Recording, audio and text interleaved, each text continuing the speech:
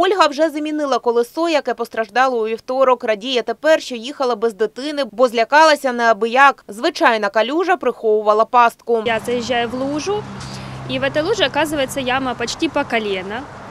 А, и Машина, понятное дело, очень сильно стукнулась, я испугалась. Не успеваю я съехать с моста, как я чувствую, что меня уже начинает немножечко машину перекосило.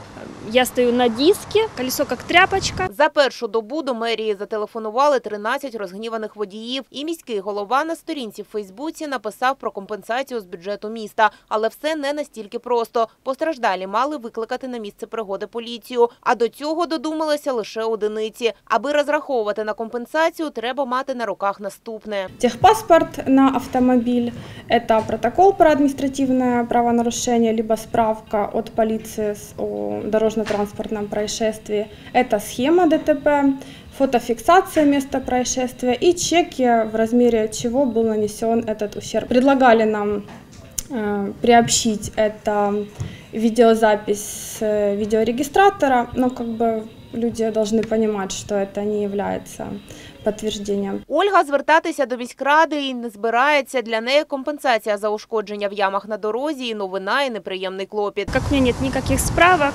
с э, шиномонтажа, никаких э, чеков по выполненной работе я не брала. И просто жалко своего потраченного времени. Дзвінків у департамент правового забезпечення побільшало після заяви мера. Поступило 22 звонка, из которых э, только у двоих есть э, документы, полный пакет на возмещение компенсации. Обычно это в судебном порядке происходит, то есть люди там попадают в яму, э, собирают документы и обращаются в суд. Аварійний стан центрального мосту – головна причина реконструкції, яку розпочали минулого року. З ремонтом пов'язано чимало скандалів, бо підрядник пропустив усі можливі строки. За 2017-й не доробили навіть половину, на відремонтованій частині мосту поклали тимчасовий асфальт. Тож автівки тепер підскакують на кожному шві. Роботи, через які міст більше півроку був закритий для приватного транспорту, поновлять навесні. Та яма виникла на старій частині. За неї відповідальне комунальне підприємство «Дніпроавтоміст». Как мне объясняют наши специалисты, что э, сейчас нет асфальта. И это действительно так, потому что асфальтовые заводы еще не запущены. И для того, чтобы использовать асфальт, для этого надо дождаться сезона.